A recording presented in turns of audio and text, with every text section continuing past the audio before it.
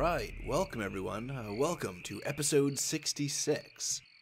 This is the final episode in this series on the kingdom fungi. This has been a wild ride, as the fungi are an exotic and ephemeral lineage. They're essential to the Earth's ecosystems, and yet they're like nothing else.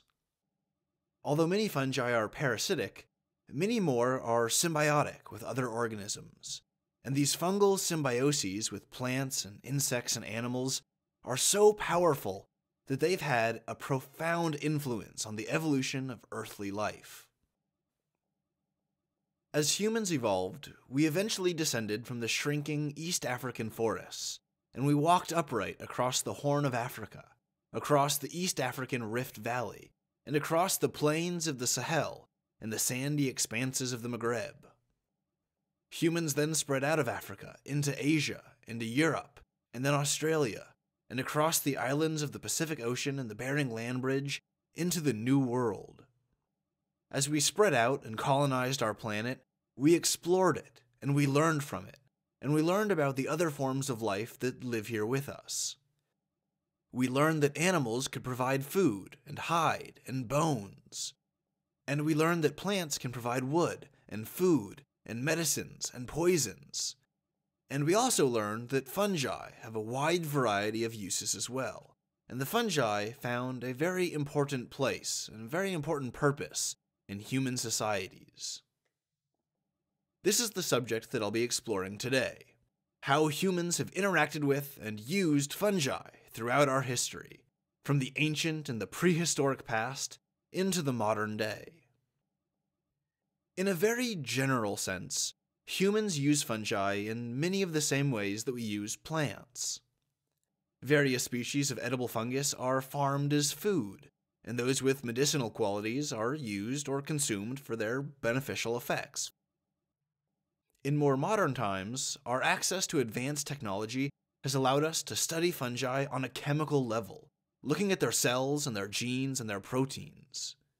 We can isolate fungal compounds and purify them to make chemicals that serve some practical purpose in the 21st century.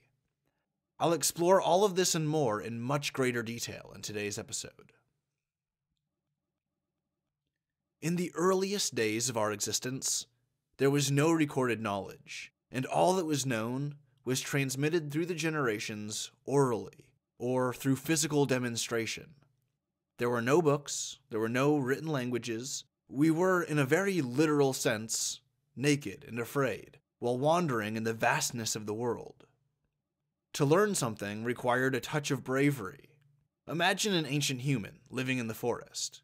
They find a mushroom that they've never seen before. It's a new discovery. The shaman or the chieftain or some elders from the tribe all come to examine it, and they wonder at its qualities, at its traits. Is it edible? Is it poisonous? Does it have some other effect or some use? These questions had no answers until someone dared to eat it. Ancient peoples would typically first try feeding the mushrooms to an animal in a primitive kind of animal test study. The animal's response, from happily eating the mushroom to shuddering in pain and dying from a poison, this gave a lot of clues as to the nature of the fungus. But this technique isn't foolproof. Some compounds may react differently in animals as they do in humans. Other compounds are only dangerous or fatal if you eat a lot of them. Some compounds have delayed actions or psychotropic actions that aren't immediately apparent to a third party, you know, to an outside observer. Now, many humans were also used to experiment as kind of like guinea pigs, maybe willingly or unwillingly, and many of these people suffered and died to teach their communities about the dangers of various species of fungus. In the cases where the mushroom was discovered to be edible, this would have been excellent news. It was a new food resource, and it was added variety to the diet. However, in cases where the new discovery wasn't edible or it was dangerous, the daring person might become ill, perhaps terribly ill, to the point that they might even die. There are quite a number of poisonous fungi out there, some of which cause mild problems like a digestive discomfort, and some of them are extremely fatal. For example, the fungal genus Claviceps has ergot fungi, like the species Claviceps purpurea, which infect and grow on rye plants and cousins of rye plants.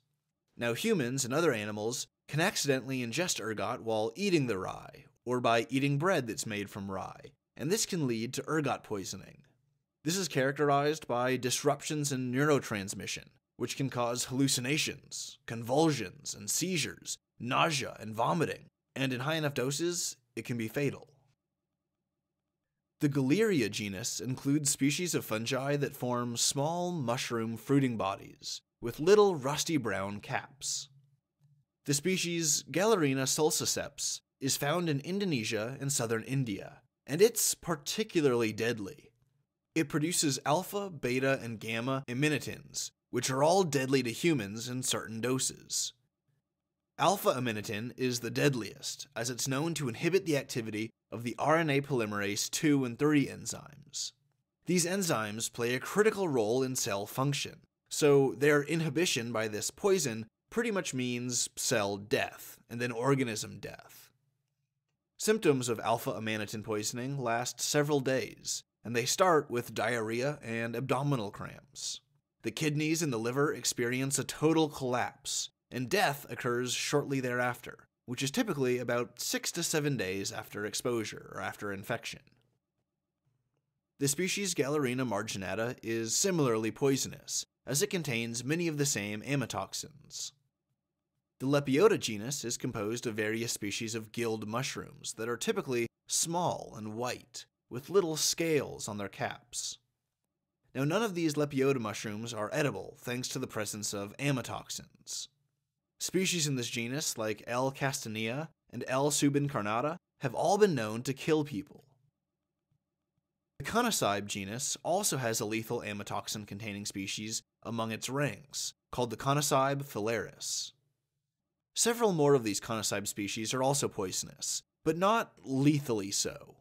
They have enough toxin to alter your consciousness after ingestion, and this can be uncomfortable, you know, can induce psychoactive effects that may or may not be desired, but I'll get into these kinds of fungi later on. These amatoxins are also found in a species called the death cap, or the Amanita phalloides, which is an extremely lethal fungus. Its fruiting body is a pale white mushroom, with patches of pale greenish, tan hues dotting the cup and the stem. Supposedly, a single mushroom possesses enough poison to kill two fully grown humans. Because of its widespread distribution, which extends across pretty much all of Europe into Russia, the Middle East, and North Africa, there have been thousands of societies that have had access to A. phalloides mushrooms and their poison. For these reasons, this mushroom is believed to be involved in the majority of intentional poisonings, including those of noble or royal blood. For example, the Roman Emperor Claudius is believed to have been killed uh, due wholly or in part to amatoxin poisoning from the Amanita phalloides. The historical figure Charles VI, who lived during the 17th and 18th centuries, he was also an emperor of the Holy Roman Empire, and his symptoms immediately before his death were consistent with amatoxin poisoning. The Amanita genus includes species responsible for most cases of fungal poisonings in humans. Besides the Amanita phalloides, there's the Amanita virosa, Amanita exitialis, and Amanita ocreata, which are all white mushrooms in a group called the Destroying Angels. They're called the Destroying Angels because they're all very dangerous. Many of them are very deadly. But besides these poisonous species, the Amanita genus also contains numerous mushrooms that are not just edible and safe to eat, but they're also delicious and nutritious. This includes the white and yellow gold Amanita calyptrata, and the Caesar's mushroom, or Amanita caesarea. Caesar's mushroom is eaten widely across Europe, where it's relatively popular. Uh, Caesar's mushroom is especially popular in Italy. You know, it's named after Caesar, they even have a festival just for this mushroom. There's all kinds of edible mushrooms out there in the world, and a lot of them are very popular. They exist in the diets of pretty much all people, including people who live very archaic lifestyles, and people who live ultra modern lifestyles. Mushrooms are ubiquitous in the human diet. In 1991, there was a corpse that was recovered in the Ötztal Alps in Europe, and this corpse was more than 3,000 years old. It was named Otzi the Iceman. His body was like a walking time capsule of what life was like for people back then. His Chalcolithic corpse had on it clothes woven out of grass, a loincloth and a coat that was made from sheepskin, and a belt that had a little pouch attached. Contained in this little pouch, and in pockets and bags elsewhere on his person, he had several items like a copper axe, some birch bark baskets, and some berries for food. Otzi had died with food in his belly, food from a meal eaten within the day of his death. In his stomach and intestines were partially digested wheat, fruits, and vegetables, as well as some ibex meat, red deer meat, and some fatty goat meat, suggesting that his last meals were pretty hearty and protein rich. In the local area of his corpse, perhaps scattered from his bags and pockets after he died in the mountains, were found a bunch of flax seeds, grains of barley, and various small fruits like figs and berries. Otzi also had an intestinal parasite called whipworm, or Trichuris trichiura. He had 61 black tattoos all over his body, with ink made from fireplace ash. He had femurs and a pelvis that were shaped for walking over rugged mountainous terrain. He had cavities in his teeth, and he was lactose intolerant, suggesting that the evolved lactose tolerance in milk drinking societies either hadn't come around yet, or he was one of the relic gene lines that simply didn't have the necessary alleles. Otzi was determined to be of a southern European genetic lineage, closely related to the Sardinians and the Corsicans. Various studies conducted in the mid 2010s have found that his genes imply a higher than normal amount of Neanderthals in his family tree. They also imply that he had Lyme disease, that he was at risk for atherosclerosis, or plaque buildup in his arteries. And there was even a study that linked Otzi to currently living people. That study in particular, from 2013, identified 19 men of Western Austrian descent who share a unique mutation with Otzi. Otzi the Iceman also carried two types of mushrooms. One of these mushrooms is called a tinder fungus, and the other is called a birch fungus. The birch fungus is known to possess a chemical that wards off helminths, or parasitic worms. Now, keeping parasitic worms away would have been a, a, critically helpful thing to have in the ancient world, and Otzi the Iceman carried this birch fungus as a kind of antibiotic analog for parasitic worms. The tinder fungus, or the species Fomes fomentarius, has a similarly cool function. Now, it's inedible, so it provides no nutritional value, but it does have an internal tissue called an amadou. This amadou tissue is spongy, and it can sustain a slow burning fire. The amadou tissue can also be cut into strips and used as tinder for a fire, Furthermore, the Amadou can be lit on fire while it's still inside of the mushroom. In these cases, the fire will burn slowly, and the mushroom can be tucked away and carried. The fire will keep slowly burning within it, and then the mushroom can be brought out, opened up, and the embers can be used to start a new fire. And in this way, it works kind of like a Neolithic lighter for starting fires. It's like having a little torch with you everywhere you go that you don't have to carry or you don't have to worry about it burning anything else that you have because it's all just wrapped up in slow burning inside.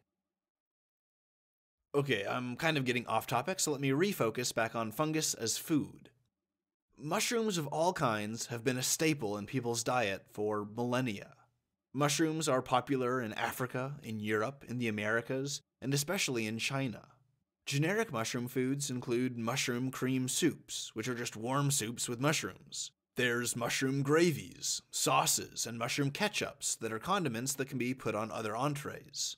Mushroom sauce on perfectly baked chicken or filet mignon can make for a really good dinner, and it looks really good on a plate, too. So, this is the kind of mature, refined dish that you would make for a date that you were trying to impress with your cooking skills or something. Mushrooms can also be sauteed in butter or in oil, or they can be stuffed with vegetables, they can be stuffed with meats like sausage, and other various kinds of fillings and flavorings and stuff. Perhaps the most common and well known use of fungus in food is the use of yeast to make bread, or baker's yeast, which is mainly a species called Saccharomyces cerevisiae. This baker's yeast, used to make bread, is the same species, but a slightly different genetic strain as the yeast that's used to produce alcohol for beer and liquor and whatnot. These fungal microbes metabolize the fermentable sugars in the dough, and they turn them into carbon dioxide and ethanol. The carbon dioxide forms bubbles, and you see these when you tear open a piece of bread, and you can you can look at it and see all of the little bubble structures that are formed in the material. These are all bubbles that form from the yeast's metabolic activity. In Eastern Europe, from the Balkans all the way down to Turkey, they make a dish called siulama. This is a mixture of some kind of meat with mushrooms, slathered in a white sauce made from flour and grease fried onions. Another Balkan mushroom dish is called selsko meso, which is a stir fry like mixture of pork, beef, tomatoes, onions, cream cheese, peppers, and mushrooms, in addition to spices, salts, and wine. These are typically all mixed together and cooked into a delicious medley. In Haiti, there's a meal called diriak janjan, which is a mixture of rice and black mushrooms called janjan, served with meat. The mushrooms are boiled, which stains the water a grayish black color, and this then soaks into the rice, and this is what gives the dish and the rice its signature flavor. Now, there's a French recipe, and it has a name that I'm not sure if I'm going to pronounce right. Duxé? It's pronounced phonetically as Duxelles, but that's clumsy, and the French language is much more elegant than that, so I think it's pronounced Duxé. Uh, but oh well, whatever. Uh, this Duxé is a paste, or a stuffing. It's produced when you take a white or a brown mushroom and you dry it out and mince it, or cut it up into a bunch of tiny little pieces. You can use porcini mushrooms if you want a stronger kick to it. Anyway, these tiny mushroom pieces are mixed with onions or shallots and various herbs and peppers, and then it's all sauteed in butter and mixed until it's a thick fluid, like a paste or a cream. It can be used as a sauce or another entree, or it can be used as a filling for a pastry. Another French recipe comes from a French cook who was in the employ of a Russian prince, and he created a dish that he called veal orloff, which is thinly sliced veal filled with mushrooms and duxé sauce and onions between the slices. This is cooked into a pie shape or a flat pizza like shape, and it's covered with momay sauce. In Russia, this style of cooking and preparing veal is called uh, French meat or French style meat. The oyster mushroom is a large edible mushroom with a thin cap, which makes it popular in the culinary arts. Because the mushroom cap is thin, it can be easily torn up into little strips for sautés and stir fries. If the cap is cooked whole or in pieces, its flat shape allows it to be cooked relatively quickly and evenly, so it's, it's convenient. The caps can be eaten by themselves, or they can be used in part of another dish, like an edible spoon filled with vegetables, or a sauce, or a rice and wheat mixture.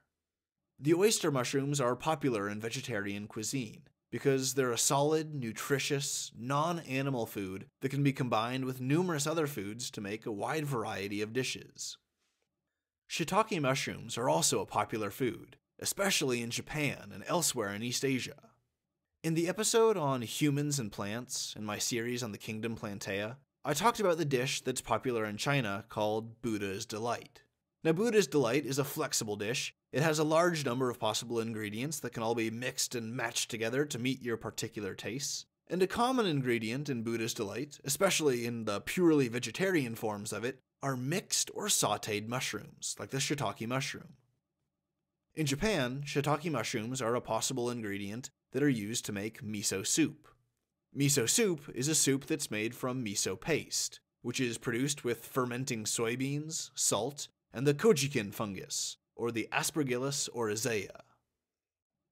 There's another mushroom in East Asia called the enokitake, or the winter fungus, or seafood mushrooms, or velvet foot, among several other names.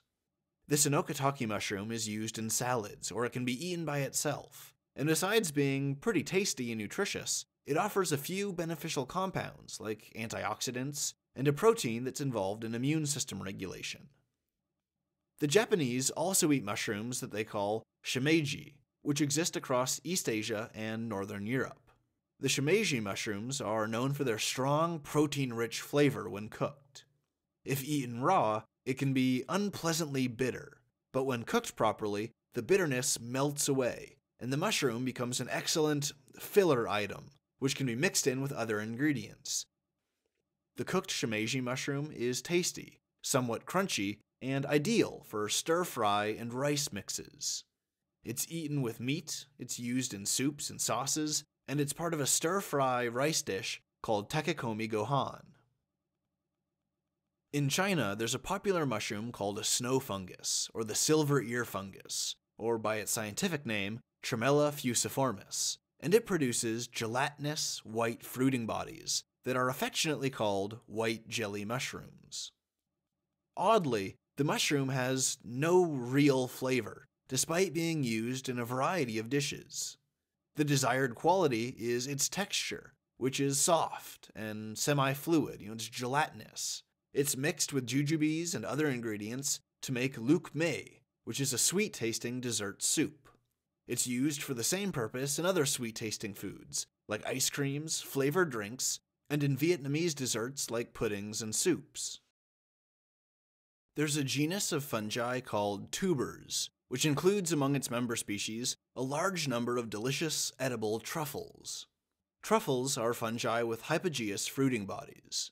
That is to say, the fruiting body grows underground, in the soil, and this makes them kind of hard to find. Humans have long used animals like pigs and dogs to detect these truffles, which can then be dug up and gathered so that they can be cooked and eaten.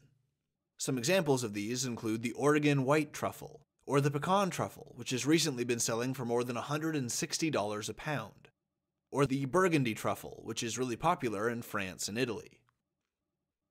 Now, I could go on about edible mushrooms because the list is almost endless. I mean, there is a lot of edible mushrooms, and there's a lot of countries and cultures that consume mushrooms as a regular or a staple part of their diet in a huge variety of dishes. So I could go on forever, basically.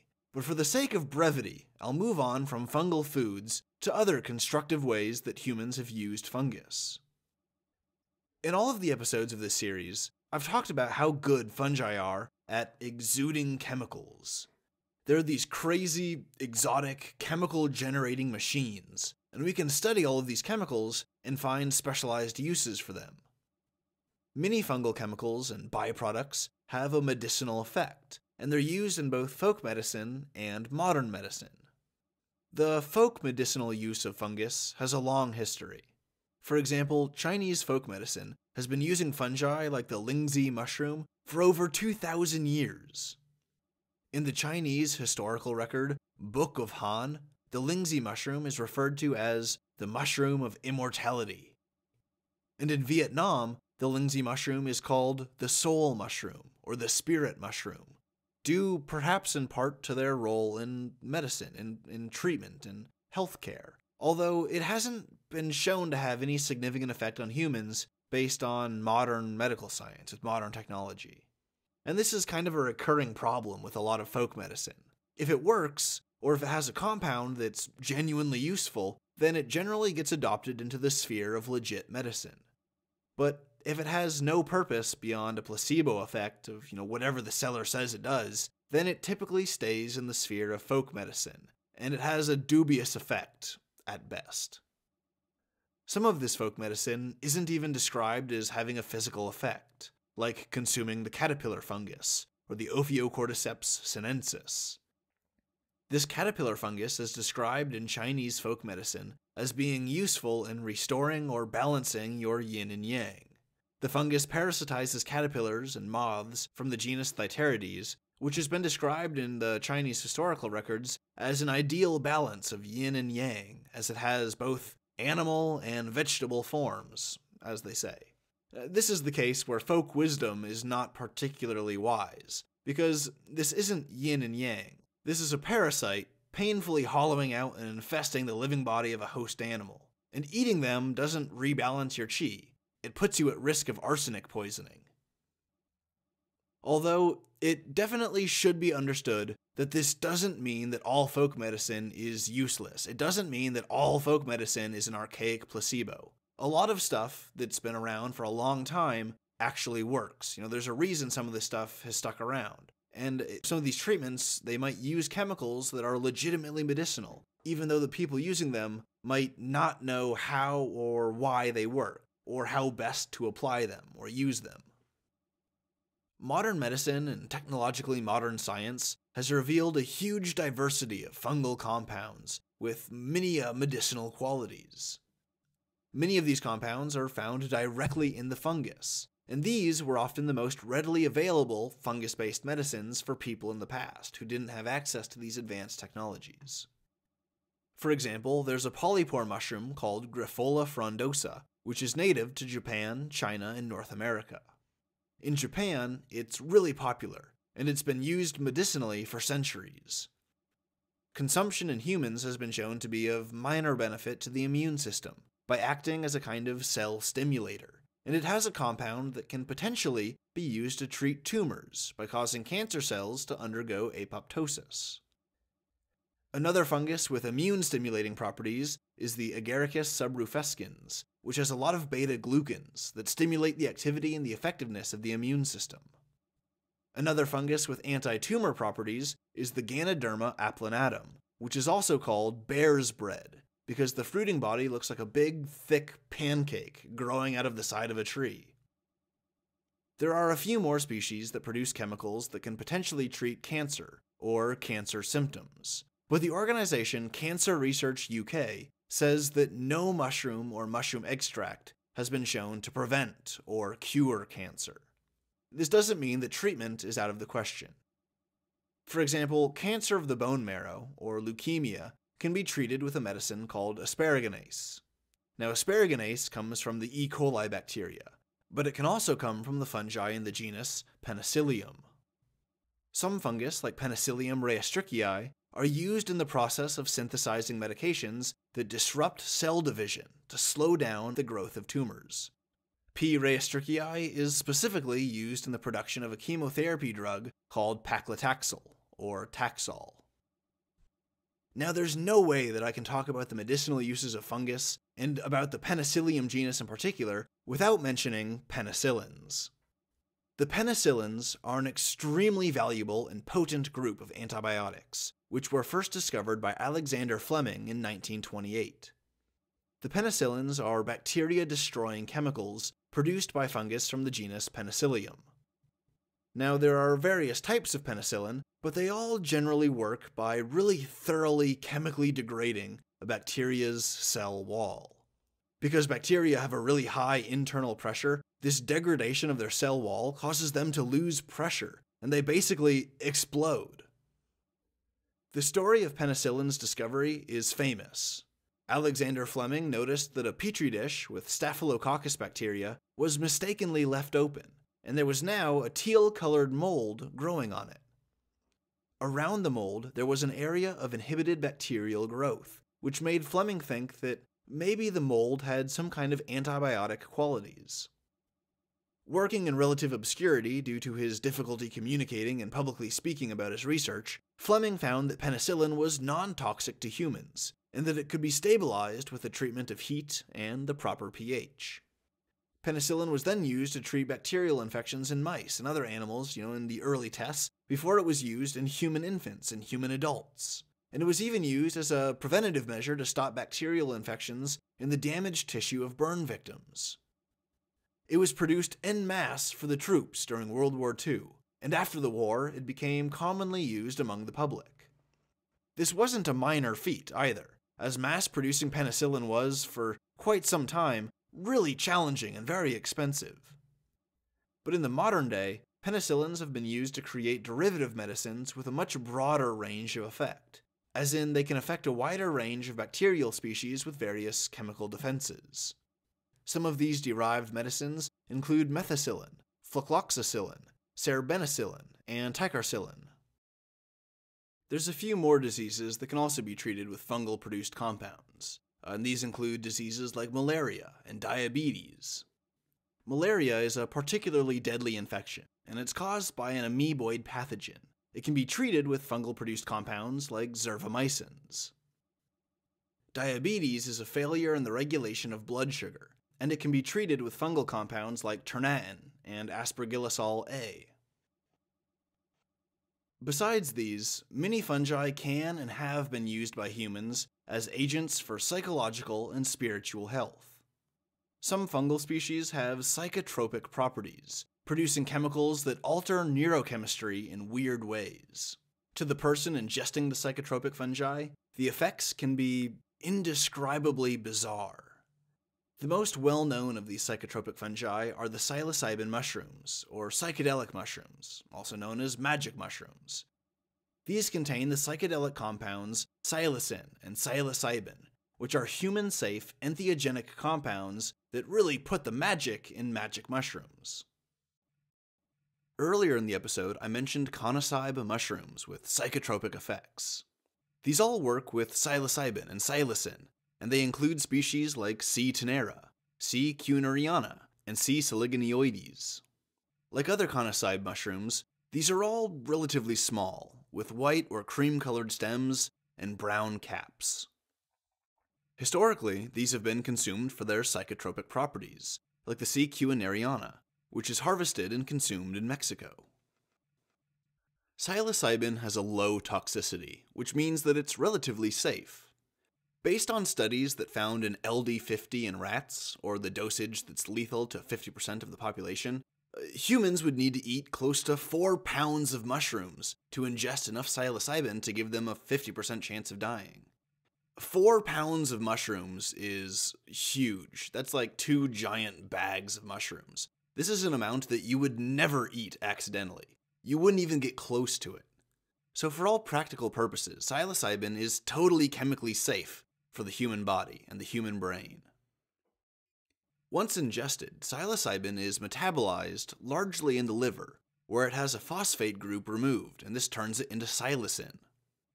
The psilocin binds to serotonin receptors, especially the 5-HT2B and 2C receptors in the brain.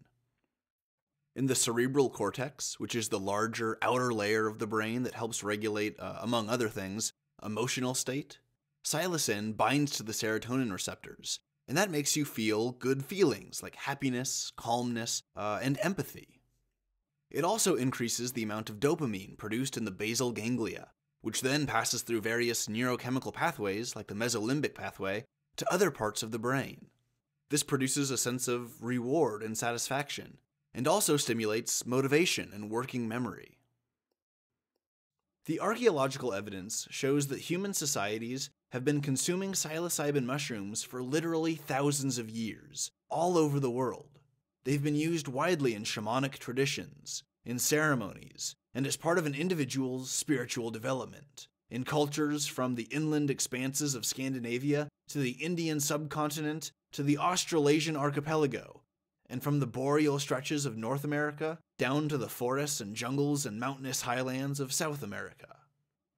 Their use was particularly popular in Mesoamerica, with many indigenous populations celebrating the hallucinogenic mushrooms as divine and sacred. The Aztecs called the local psilocybe mushroom that they used for this purpose the Teonanacatl, or the divine mushroom. The Mesoamerican peoples used these mushrooms ritualistically, for their spiritual and religious significance until the Spanish came and invaded. The Christian Spaniards perceived the mushroom consumption and its associated rituals to be a form of idolatry and a violation against Christ, and so they suppressed it. They weren't entirely successful, as remote communities were able to maintain their traditions, but a lot of blood was shed over this.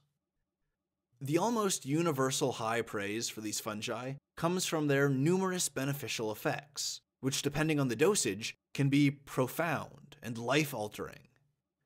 They also have no physical negatives. They don't cause dependence. They aren't habit forming. And even though it's technically a poison, no one has ever died from psilocybin, as far as I know. The worst negative that comes from them is when you have what's called a bad trip but that has more to do with your set and your setting than with the, the chemical itself.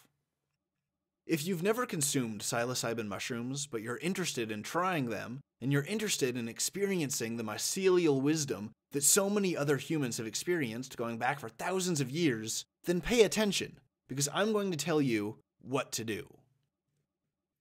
Typically, if you're looking to consume some mushrooms and have a psychedelic experience, you might want to start with a small dose, unless you're feeling kind of brave, but I would recommend starting with a small dose.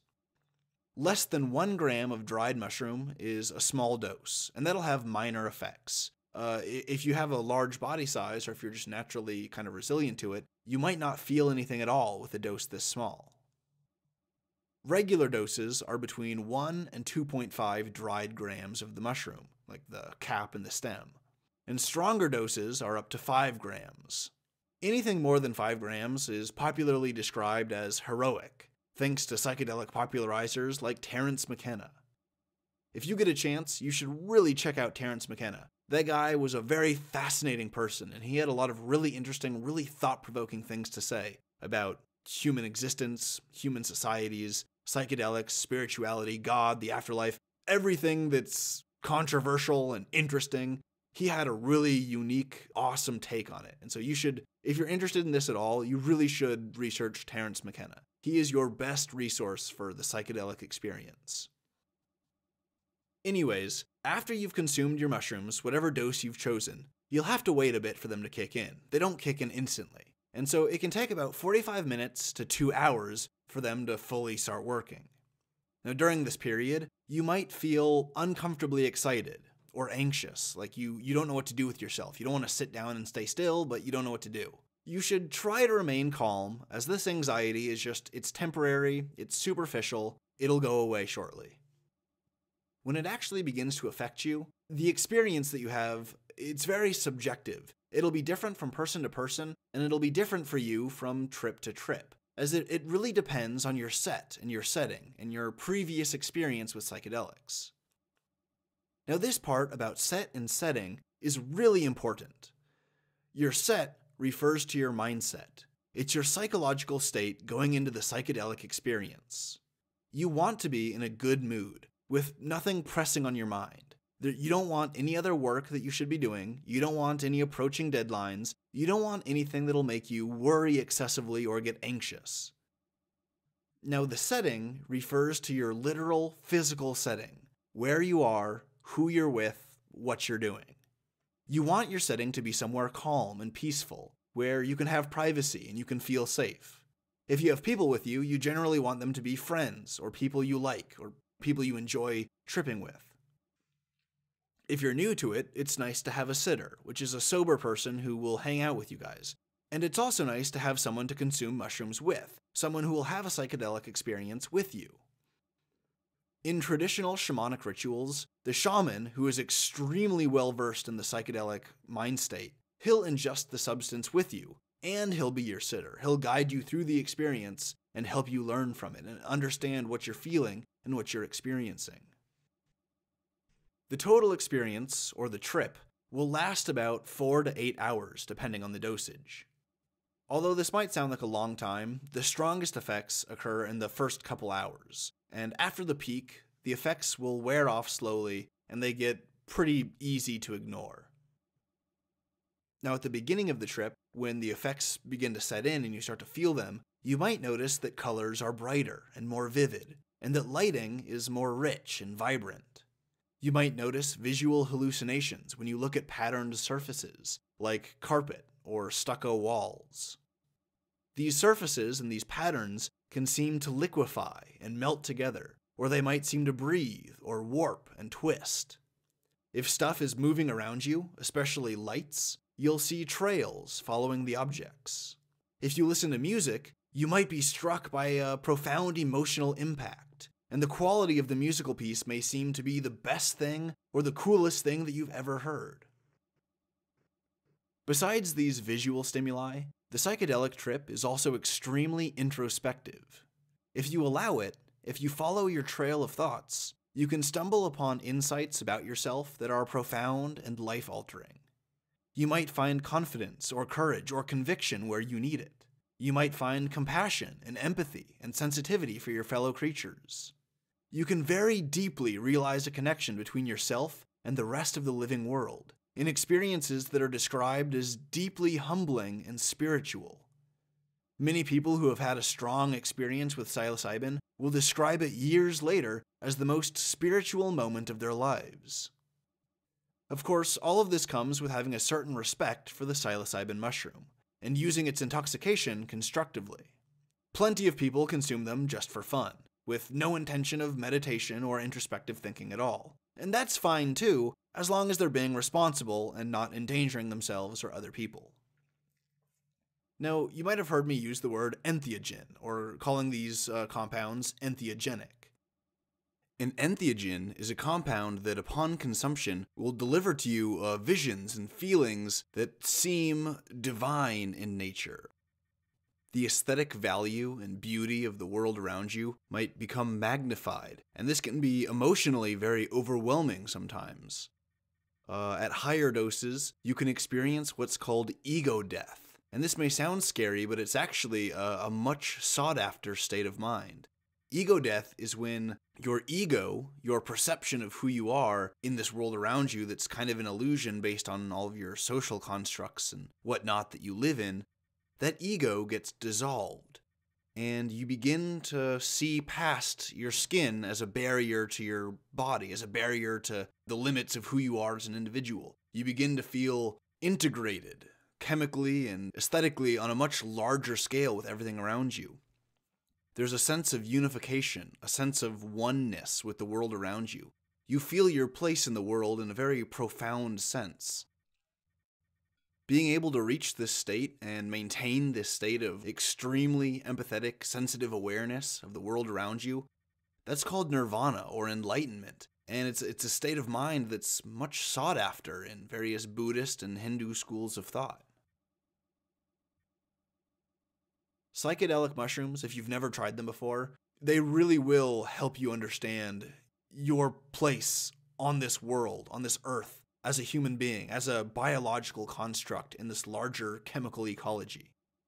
I mean, I know a lot of this sounds kind of obtuse and flowery and kind of woo woo, but seriously, these entheogenic compounds are no joke. If you take a small dose and you don't feel anything, or you don't have this kind of introspective entheogenic experience, take more there's there's no reason to say oh this doesn't work oh it's not legit if you are trying to have this kind of spiritually cathartic spiritually uh, developing experience take a heroic dose of psilocybin mushrooms. Experience what's beyond the veil.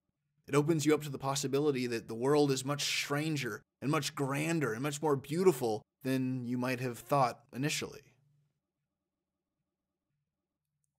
In the modern day, there's a lot of legal problems surrounding the psilocybin mushroom.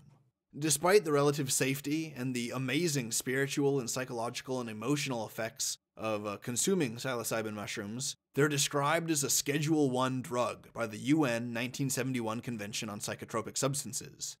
And in the US and other Western countries like the UK and Canada, possession of psilocybin and psilocybin mushrooms carries extremely heavy legal and financial punishments. I will be the first person to say that these prohibitions on psilocybin are not just anti scientific and moronic, they're outrageous and offensive to any sense of human freedom and dignity. The silver lining is that there is progress being made. It's not just a hopeless abyss of doom and gloom. Thanks to wonderful organizations like MAPS or the Multidisciplinary Association for the Psychedelic Studies, psilocybin containing mushrooms are undergoing phase 1 and phase 2 studies for efficacy in human patients, specifically for their use in treating PTSD in combat veterans. They also study psilocybin's use in treating end of life anxiety and the fear of death in patients that have terminal illnesses. And all of their studies have shown really remarkable, beneficial, positive results. Even the FDA is interested. Rick Doblin, who's the founder of MAPS, has reported that the FDA is shocked at how effective psilocybin is, considering its dosage and its almost complete lack of negative side effects. The FDA thinks that psilocybin's safety profile is amazing, especially compared to its effectiveness. Like it's it's a wonder drug. It's it really is incredible. all fungus are incredible, not just the psilocybin mushrooms. All fungus are incredible. They all perform an incredible role in the world's ecology. They all have an incredible role to play in the evolutionary history of life on this planet. But I've talked about fungus for long enough. This is the end of a long episode, and it's the end of a long but amazingly fascinating series on the kingdom fungi. As I've explored this mycelial world with you, I hope you were able to learn stuff and get inspired about how crazy and wild and exotically alien the fungi really are. These are amazing organisms, often unseen or overlooked, but they're absolutely integral to our biosphere. Just as fungi are a big part of human societies, fungi are a really big part of planet Earth. Fundamentally, fungi are the world's biological recyclers, taking biomass locked up in the rotting corpses of dead animals and decaying plants, and dissolving them on a chemical level so as to return the nutrients into the ecosystem to support the birth and the growth of new life. And as always, thanks for listening.